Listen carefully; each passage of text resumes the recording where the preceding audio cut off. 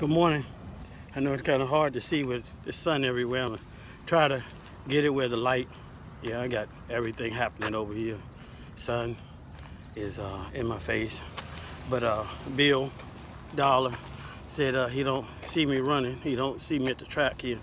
Only see me when I'm sitting in my vehicle like I'm going to eat a Krispy Kreme donut. I don't like Krispy Kreme. I eat Dunkin' Donuts all day, but at least one.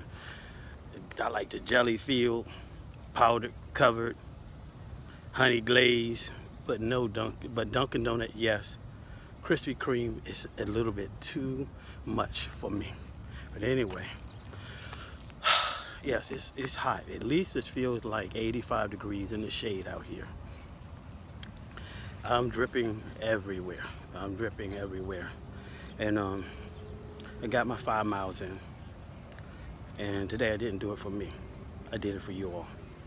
This is my motivational video to encourage everybody to get out, get up out of their bed early in the morning or sometime when it cools down in the evening is to do something, to do something, get, cause your body to have a chain reaction to cause it to sweat, you know, and just not perspire, but aspire to uh, get to where you need to be physically and spiritually, okay?